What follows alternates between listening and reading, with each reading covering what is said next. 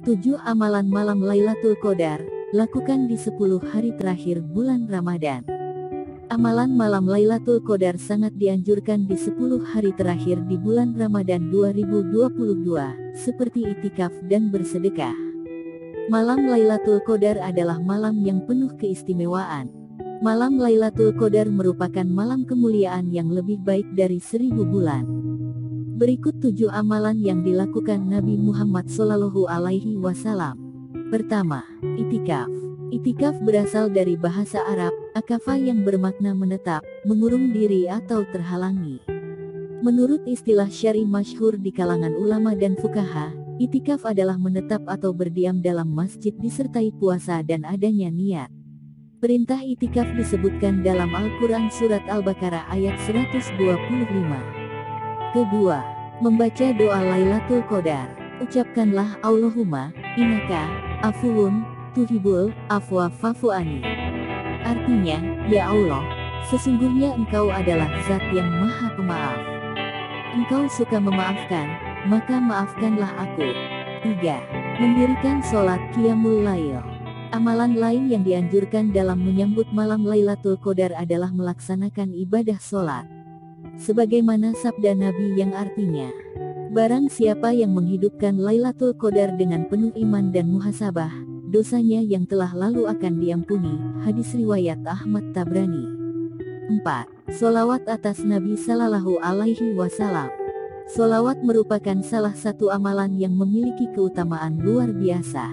Disebutkan dalam sebuah hadis, Rasulullah akan memberikan syafaat paling banyak kepada orang yang bersolawat padanya.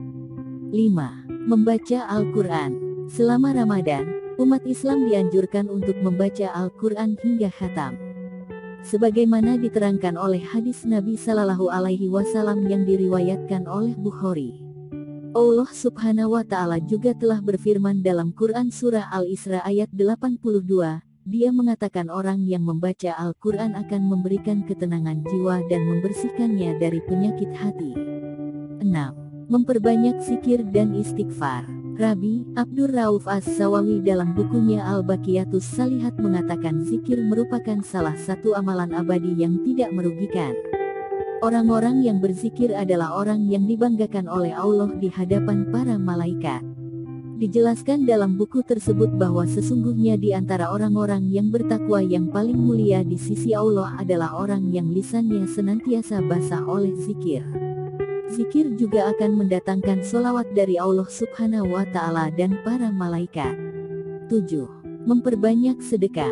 Malam penuh kemuliaan ini sudah semestinya disambut dengan amalan-amalan yang mulia seperti sedekah.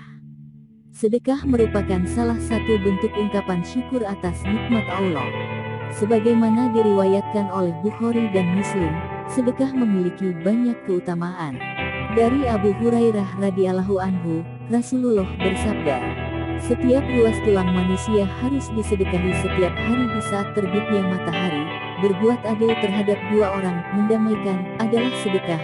Menolong seseorang naik kendaraannya, membimbingnya, dan mengangkat barang bawaannya adalah sedekah, ucapan yang baik adalah sedekah. Berkata yang baik juga termasuk sedekah. Begitu pula setiap langkah berjalan untuk menunaikan sholat adalah sedekah. Serta menyingkirkan suatu rintangan dari jalan adalah sedekah. Hadis riwayat Bukhari dan Muslim.